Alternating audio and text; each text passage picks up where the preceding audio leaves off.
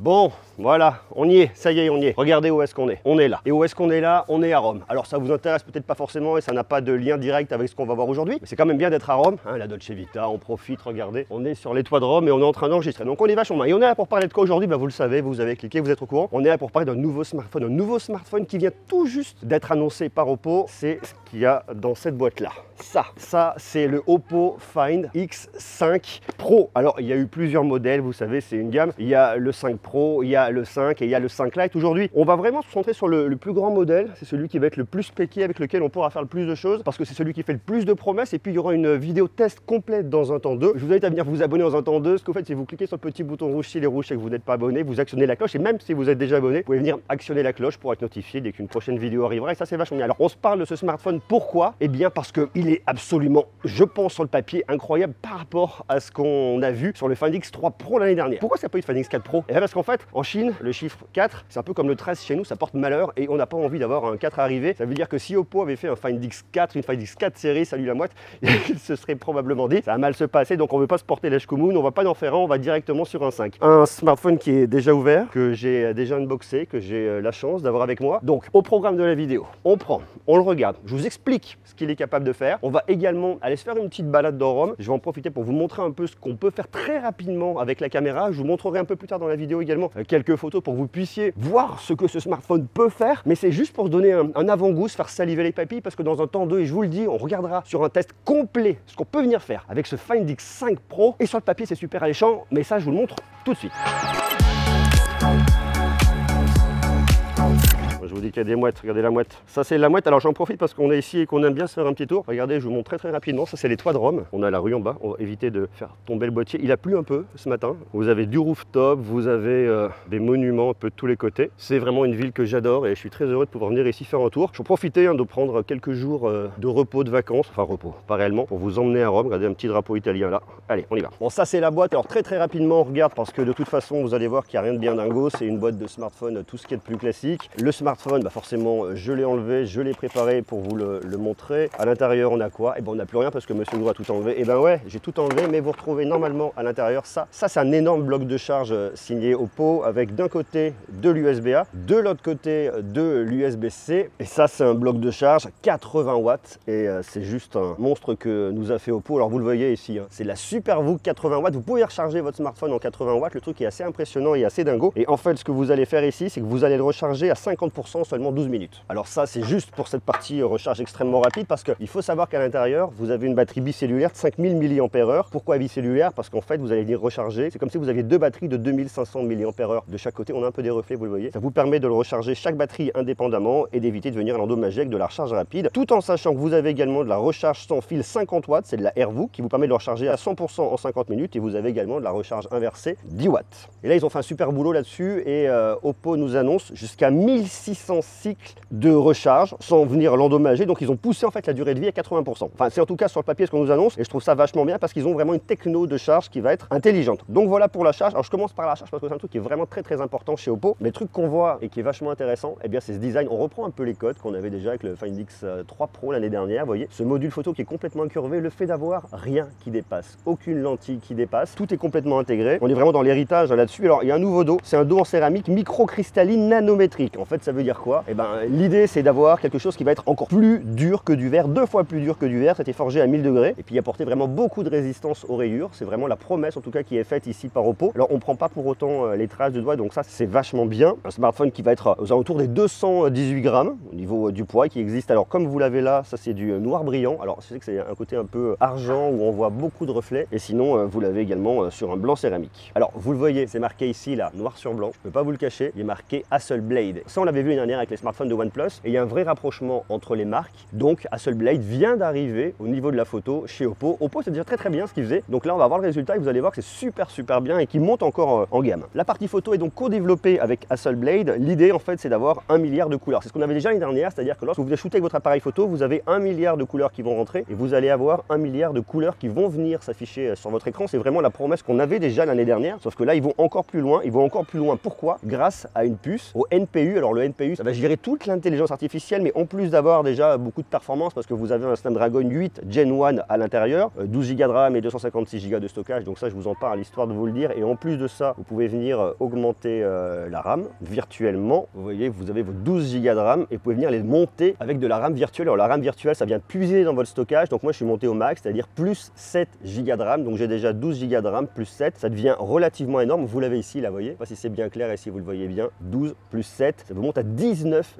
Go de RAM, en tout cas virtuellement si vous avez du stockage de dispo. Donc ça c'est assez marrant. Et puis vous avez ce NPU qui est signé euh, Oppo directement. Alors le NPU s'appelle comment? Il s'appelle Mari Silicon X. Il est gravé en 6 nanomètres et qu'est-ce qu'il vous permettra de faire? Il vous permettra d'apporter de la puissance de calcul et de l'intelligence artificielle pour toute votre photo. On nous annonce une plage dynamique 4 fois supérieure, beaucoup moins de bruit dans l'image, une meilleure reproduction euh, des couleurs, plus de détails également dans les parties sombres et dans les parties claires. Donc ça c'est vachement intéressant et on le regardera une fois de plus euh, lors du test. Alors qu'est-ce qu'on va retrouver au niveau de la photo? Eh bien, On va retrouver, vous voyez, vous avez trois capteurs, un capteur principal, ça va être un grand angle de 50 mégapixels. En fait, que vous soyez sur votre grand angle ou votre ultra grand angle, vous avez dans les deux cas 50 mégapixels. Sur le grand angle, on ouvre à f1.7, sur l'ultra grand angle, on ouvre à f2.2. C'est des capteurs de 2 micromètres et on peut faire euh, du 4 pixels en 1, du pixel binding pour venir regrouper vos pixels. Et ça permettra d'améliorer notamment les photos nuit. Et je vous dis, ici, on nous promet un milliard de couleurs. Et puis vous avez un téléobjectif, petit téléobjectif qui est planqué là, avec un zoom optique x2, c'est un 13 mégapixels qui ouvre à f1.4 avec également un milliard de couleurs. Alors ce qui est intéressant, c'est qu'on a cette fameuse lentille freeform qu'on avait déjà vue l'année dernière, qui avait été présentée sur le Find X3 Pro, qu'on retrouve une fois de plus sur l'ultra grand angle. Et pour la première fois, vous avez une stabilisation optique 5 axes sur votre grand angle, c'est-à-dire 3 axes sur le capteur et 2 axes sur l'objectif, anti-tremblement jusqu'à 3 degrés. Donc ça, autant vous dire que pour moi, c'est un truc qui me plaît beaucoup. Vu que j'ai un tremblement essentiel, vous me donnez un smartphone qui est stabilisé. Ça, c'est une promesse qui me plaît énormément. Donc on regardera une fois de plus si la promesse est tenue très rapidement. Et puis il y a un autre boulot qui a été fait au niveau de la partie photo, c'est qu'ils ont mis une lentille en verre. Une lentille en verre qui va améliorer la fidélité des couleurs et qui va retirer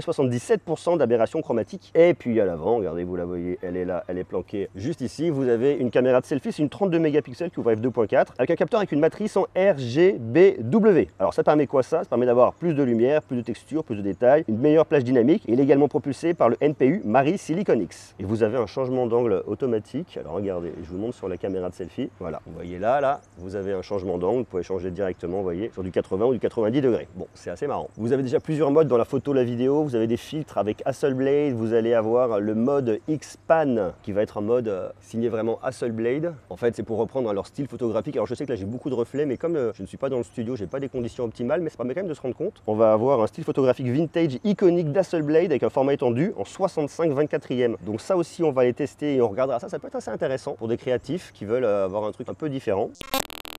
Je vous ramène dans ma chambre d'hôtel. Le moment où je tourne cette vidéo, c'est le soir. J'ai shooté depuis hier des heures, des heures et des heures avec ce nouveau euh, smartphone qui est juste là. Et je vous montre très rapidement quelques petites photos. C'est vraiment pas un test, hein. c'est vraiment un premier jet histoire de se rendre compte. Il y a deux, trois qui sont très, très, très sympas et que je voulais commencer à partager avec vous. Notamment cette photo là sur le, grand angle, capteur principal, de 50 mégapixels. Regardez, vous avez un, un, soleil de plomb. On voit tout bien en avant. Il y a une gestion de la plage dynamique qui est absolument incroyable et qui marche très, très bien. On va aller sur l'ultra grand angle et c'est pareil, ça reste quand même vraiment, vraiment pas mal. On peut venir se rapprocher après. Et je vous montre très très rapidement donc il y a ça. Aussi très rapidement euh, cette statue que j'étais shooté à Rome. Alors les conditions sont vraiment vraiment optimales. On passe sur l'ultra grand angle. On voit qu'il n'y a pas de déformation grâce à la lentille euh, freeform. Ça marche bien c'est très très bien. On peut venir se rapprocher. Et lorsque je me rapprochais il reconnaissait le visage. Il marquait que c'est un portrait. Et voyez euh, ça marche vraiment bien. Alors on va pas aller trop trop loin dans l'image mais déjà comme ça je trouve qu'il y a une très très bonne gestion de la lumière voyez. C'est pas cramé c'est très très bien fait. Haute photo histoire de se mettre un peu dans le bain de l'ambiance romaine le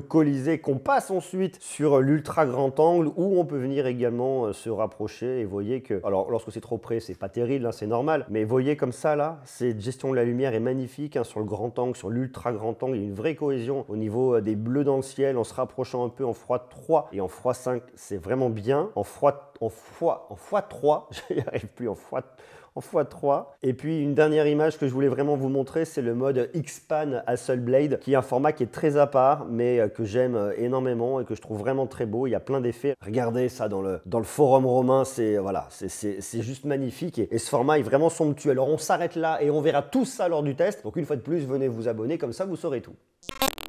Et puis vous avez également euh, beaucoup de promesses qui sont faites au niveau euh, notamment euh, de la vidéo de nuit, 1080p, 720p ou alors carrément de la 4K, avec une réduction du bruit, meilleure reproduction des couleurs et une plage dynamique qui va être plus étendue. En tout cas, c'est une fois de plus la promesse.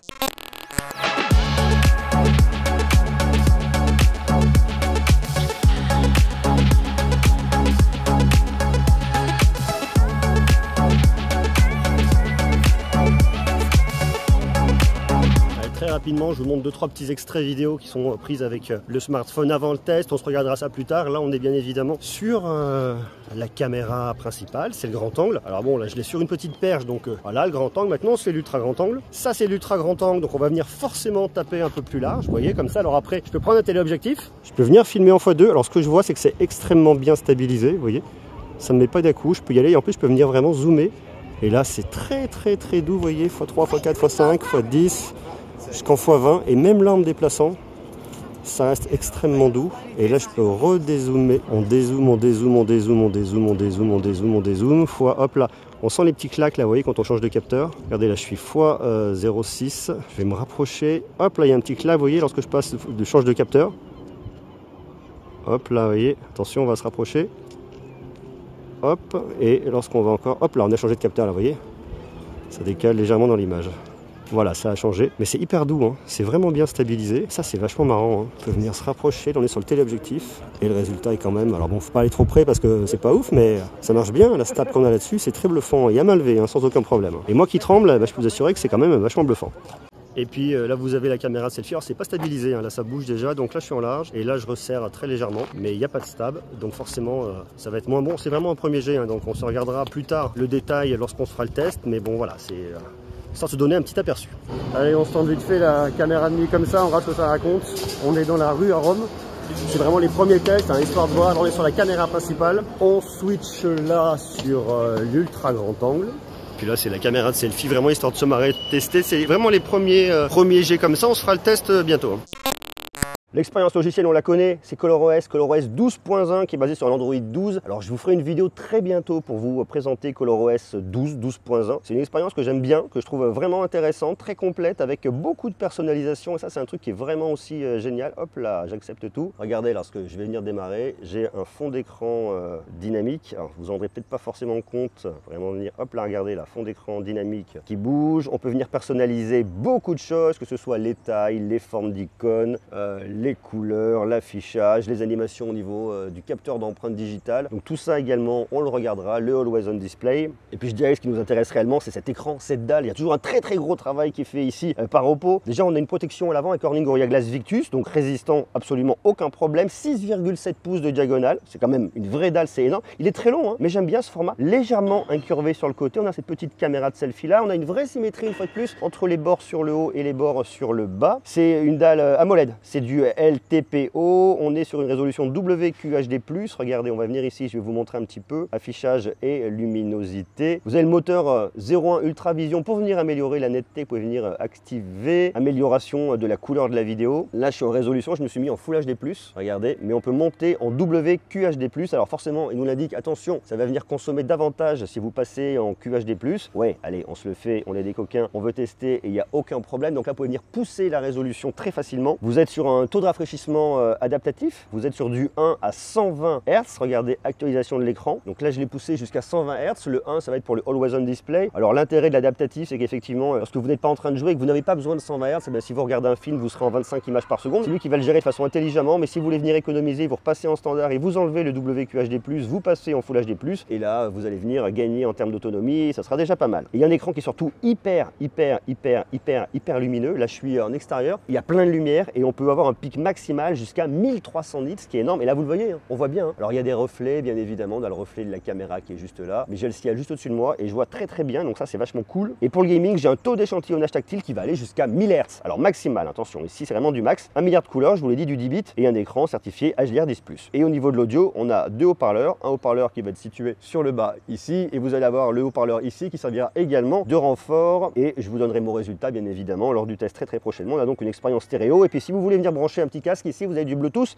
5.2. On a bien évidemment du Wi-Fi 6, de la 5G, on s'en doutera avec le Snapdragon 8 de première génération, de l'ici, un smartphone qui est certifié IP68 donc qui ne va pas craindre l'eau. Et là je lui mets un petit peu d'eau sur la tête parce qu'il y a un petit peu d'eau aujourd'hui, un peu de pluie à Rome, donc ici pas de problème. Et vous avez un système d'antenne intelligente tout autour du smartphone pour toujours venir capter, quelle que soit la position de votre main, que vous soyez en train de bloquer le signal ou pas. Donc une vraie répartition à 360 degrés au niveau de vos antennes pour venir capter le réseau et la 5G. Vous avez des gestes aériens, on va regarder ça aussi lors du test. Et il y a eu tout un travail algorithmique qui vous permettra de bien venir capter lorsque vous sortez euh, d'un ascenseur, lorsque vous euh, êtes dans un train et que vous captez mal. Enfin bref, un vrai gros boulot qui a été fait par Oppo ici, que ce soit au niveau matériel, que ce soit au niveau logiciel, pour avoir un smartphone avec un rendu maximal pour venir capter, pour vous faciliter la vie et que ce soit totalement transparent pour vous. Donc l'idée en tout cas, je la trouve assez alléchante, je la trouve très intéressante. Je trouve que le smartphone est intéressant. Ce que je vais regretter, pas, pas aimer, mais regretter, c'est qu'ils aient enlevé ce côté euh, microscopique que je trouve assez rigolo, qui était un peu what the fuck l'année dernière, même si je suis pas sûr qu'on allait tous faire des photos avec le côté microscopique. On a néanmoins de la macro, mais ça on le verra également euh, lors du test qui arrivera très prochainement. Et c'est un smartphone qui coûte 1299,90 euros